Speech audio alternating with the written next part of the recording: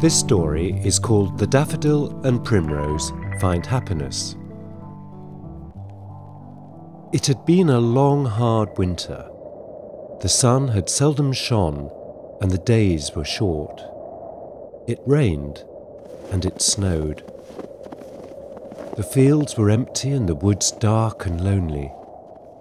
The squirrels had eaten their last acorns and were hungry. The field mice had grown tired of hiding and wanted to be playing in the warmth of sunshine. And there were so many things longing for spring. The cottages were quite close to each other, but not too close. They each had a lovely wild garden with beautiful flowers that appeared each year as if by magic. Some of the flowers were quite small and delicate, and others were tall and strong. No one knew what would appear the following year, because the flowers looked after themselves and made their own choice of where to live and when to be seen. This was the excitement of the cottage garden.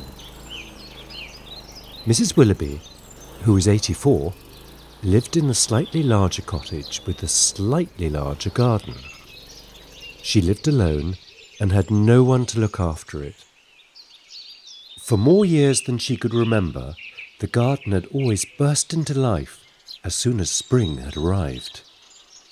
For her, the magic was not knowing what colours, what shapes, and what scents would be given to her. Some time ago, she had visited a flower shop and had naughtily bought herself a treat. It was a daffodil bulb, which the packet said would produce the brightest of bright yellow petals surrounding a golden middle. Mrs. Willoughby had waited many years for the bulb to flower, but this year she could see it had decided that the time was right. It was March, and the soil was warming. In the slightly smaller cottage, with the slightly smaller garden, lived Mr. Arnold.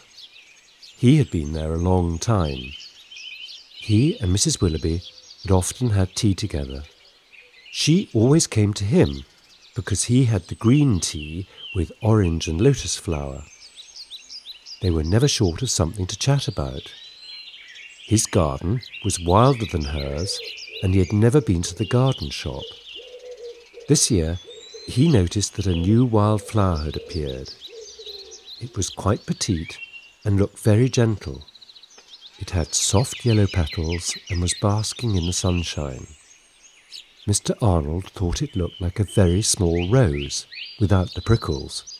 He decided to call it his primrose.